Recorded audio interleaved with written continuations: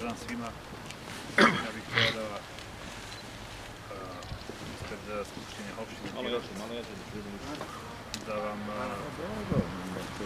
da kažem da ovaj čin, ovaj pomen ovde danas pokazuje, odnosno mi sami pokazujemo da nikada nećemo zaboraviti gnusne zločine iz drugog svetskog rata, konkretno ovde u Jevrojskoj ulici gde je stradalo oko 180 jevreja.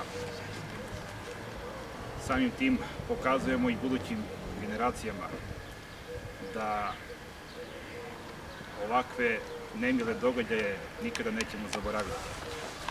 I još jednom hvala što svi u ovolikom broju prisustujete ovom činu, što dokazuje budućim generacijama da ovakve nemile događaje nećemo zaboraviti.